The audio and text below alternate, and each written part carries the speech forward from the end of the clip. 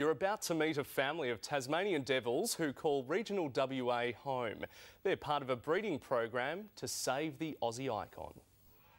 This young lady is ravenous, but then again, she is eating for two, or maybe even four.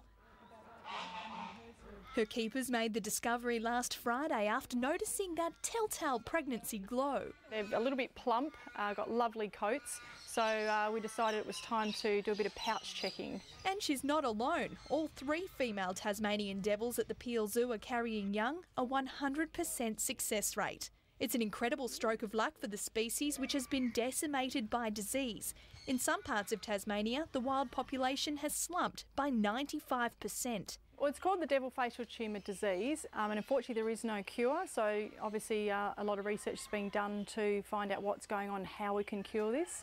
The youngsters are expected to emerge from the comfort of their mother's pouch sometime in the next few weeks.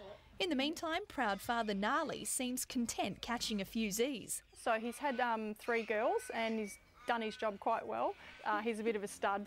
But the Tassie Devils aren't the only ones expecting. The eastern and spotted tailed tiger quolls will need to make room for a few new faces, and little Oink here was born on Friday, just in time for the school holidays. Candice Barnes, Win News.